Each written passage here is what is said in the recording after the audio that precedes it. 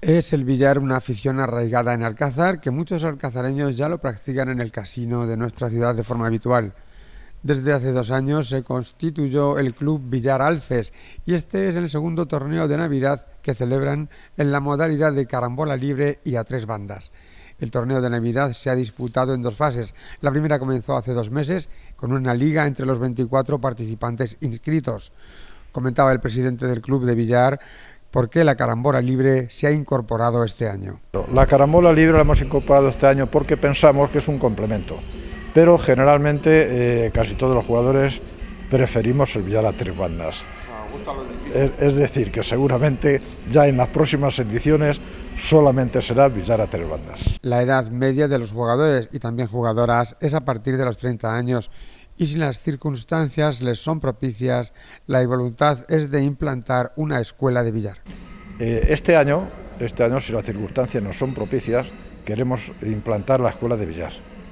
Para eso contactaremos con las concejales de la juventud, estamos también en negociaciones con la directiva del casino, que nos tiene que autorizar, y en fin, si salvamos una serie de inconvenientes, queremos incorporar a nuestras clases a jóvenes. Asistió a la final de este torneo el presidente de la Federación Castellano-Manchega de Villar.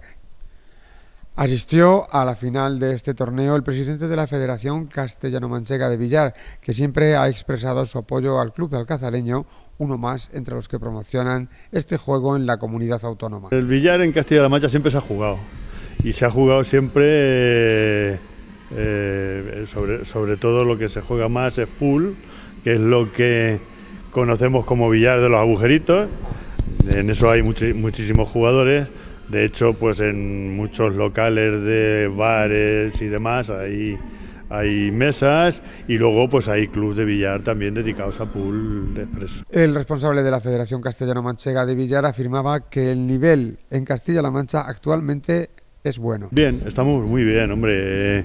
ten en cuenta que nosotros llevamos ya muchísimos años jugando al billar, ¿no? En, lo que es club de prestigio en Castilla-La Mancha, llevamos muchísimos años ya jugando al billar y de verdad hay grandes jugadores en Castilla-La Mancha, muy buenos jugadores en Castilla-La Mancha.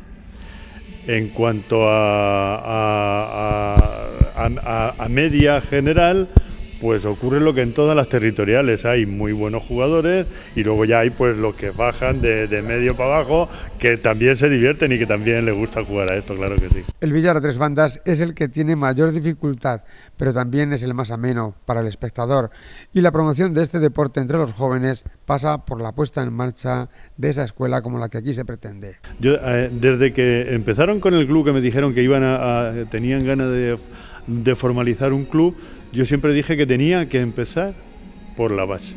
Y la base en todos los deportes son las escuelas de villa. O sea, las escuelas deportivas, efectivamente. En el nuestro, pues efectivamente es escuela de billar.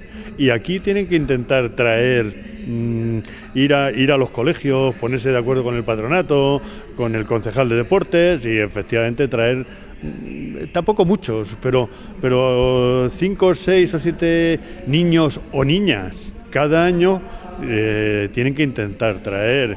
Eh, nosotros estamos detrás de ellos. Esta es la segunda edición del torneo de Navidad, que forma el calendario de la competición anual junto al torneo de la feria. Un torneo de Navidad este que se celebró en el Casino de Alcázar y que reunió a jugadores de diferentes partes de la comarca, resultando muy reñido.